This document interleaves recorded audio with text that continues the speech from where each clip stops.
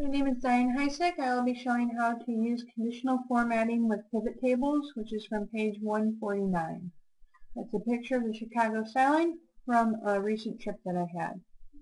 So to start this off, I'm going to go to the data. Click inside the data, go to Insert, Pivot Table, click OK.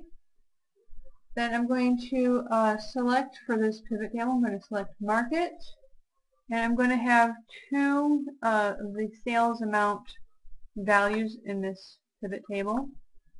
I'm going to format the first one so that the numbers are in the currency format.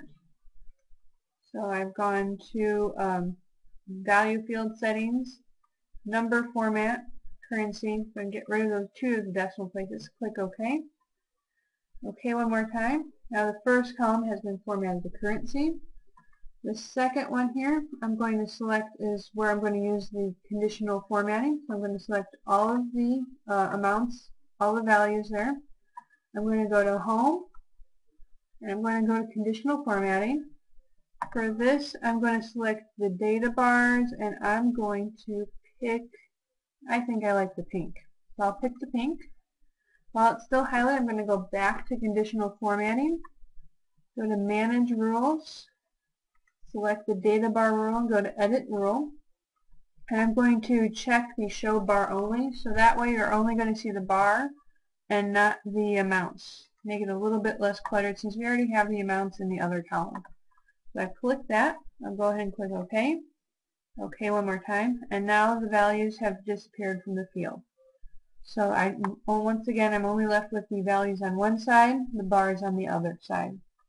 So if I want to, I can even add some more formatting on top of that. So if, for example, I want to show just the, you know, maybe the top 10%, maybe instead of top 10, maybe I'll pick the top, uh, we'll pick the top 20. And I will use um, light green fill. So we'll hit light green fill, and now you can see that I still have the top 10-20% columns have now been selected for me also if it wasn't easy enough already to see. So just, you know, you can add multiple or multiple types of conditional formatting to your pivot table.